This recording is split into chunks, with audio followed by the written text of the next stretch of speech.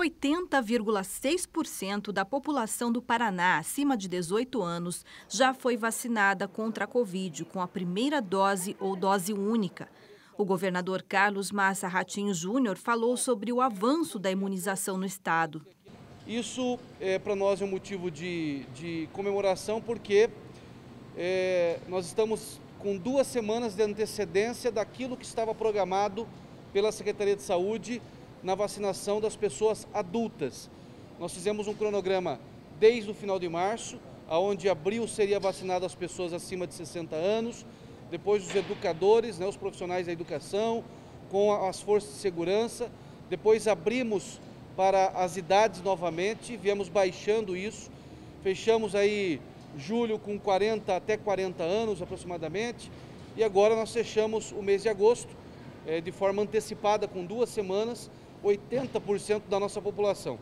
E agora, dando continuidade ao nosso planejamento de metas de vacinação, nós queremos chegar em setembro com 100% da população adulta do estado do Paraná vacinadas. Foram 9 milhões 509 mil 570 aplicações no total e 7 milhões 36 mil 789 entre primeiras doses e doses únicas.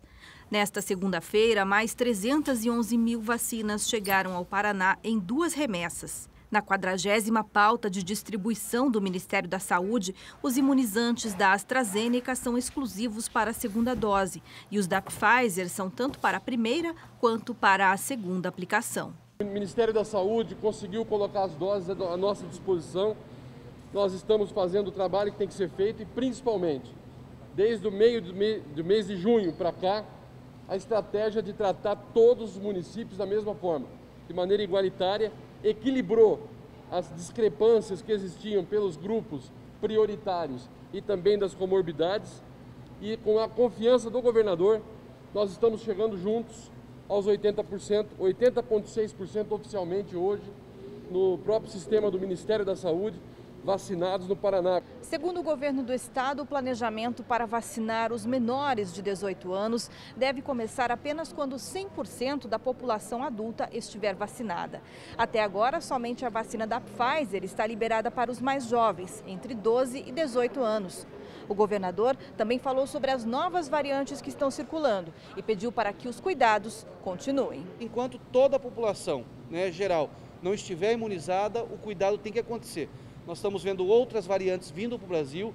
Nós tivemos a amazônica em fevereiro, que foi muito forte no país. Agora nós temos a Delta, que no Rio de Janeiro já é a maior é, concentração. Isso é, um cuidado que nós temos que ter também, porque ela também é muito veloz. É, talvez ela não seja nem tão agressiva quanto a amazônica, mas ela é muito veloz na sua proliferação. Então, o cuidado, enquanto não houver toda essa imunização, é importante. É, o fato da pessoa se vacinar não quer dizer que ela está liberada é, para ter uma vida totalmente normal. Claro que nós torcemos para que isso aconteça o quanto antes. Tanto é que as restrições têm diminuído a cada semana, a cada, bem, cada mês. Mas o cuidado tem que ser sempre redobrado.